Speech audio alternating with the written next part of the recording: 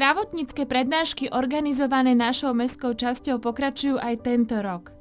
Začali sme debatou práve na tému chudokrvnosť, ktorá môže, vzhľadom na širokú problematiku, postretnúť každého z nás. Anémia je definovaná ako chorobný stav, pri ktorom sú tkaniva v organizme nedostatočne okysličené. Anemický syndrom znamená patologický stav charakterizovaný znížením hodnoty hemoglobínu pod fyziologickú hranicu pre daný vek a pohlavie. S doktorkou Drakulovou z nemocnice Kramáre sme sa porozprávali nielen o najčastejších príčinách, ktoré nás zvyknú doviesť až do ambulácie lekára, ale i možnostiach liečby. Je to predovšetkým únavový syndrom, e, ďalej sú to bledá pokožka, bledé očné skléry, e, významná únavnosť u žien, vypadávanie vlasov, problémy s pokožkou, ale keďže anémia je veľmi široký pojem, tak aj tie prejavy sa niektoré u rôznych typov anémie sú aj rozličné.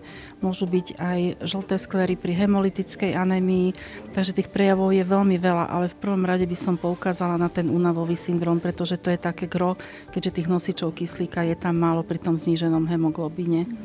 A ako je to s toľko diskutovanou témou anémia versus vegetariánstvo? Je naozaj pravda, že ľudia, ktorí nejedia meso, sú viacej náchylní na, práve na chudokrvnosť? Svojím spôsobom je to aj pravda, ale teraz už tí vegetariáni sú natoľko edukovaní, že oni vedia tie živočíšne bielkoviny nahradiť inou formou e, toho železa, čiže oni vedia, ako z tých rastlinných foriem, nehemových foriem, napríklad z tej zeleniny, ako vydolovať čo najviac.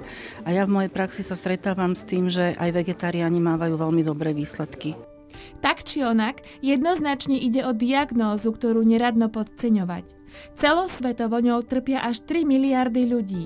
Najčastejším dôvodom chdokrvnosti je deficit železa spôsobujúci zníženie hemoglobínu v krvi. Dá sa vôbec podporiť jeho vstrebávanie? Či je možno zvýšiť vstrebávanie železa? V zásade je to hlavne vitamín C. Zeleninu treba radšej trošku pridusiť, ako ju je surovú.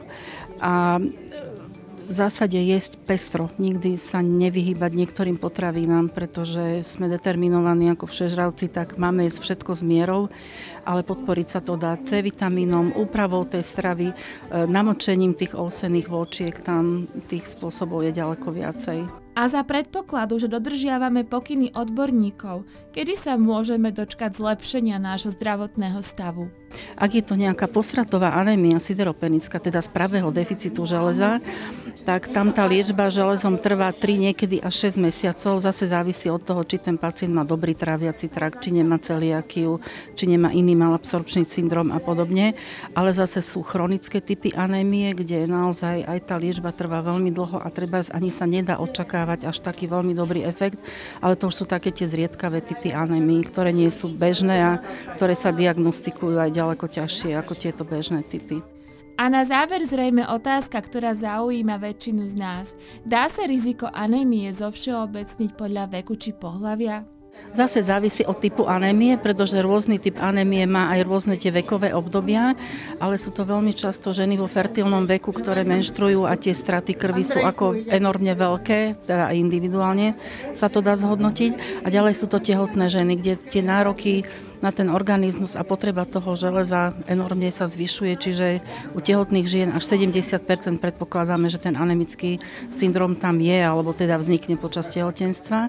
A zase v staršom veku sú to iné typy anémie, sú to skôr tie dysplastické typy anémie a hlavne z deficitu vitamínu B12, pretože atrofuje sliznica žalúdka, čiže naozaj aj podľa toho veku sa dá svojím spôsobom zaradiť ten typ anémie potom, že o aký by sa tak mohlo jednať.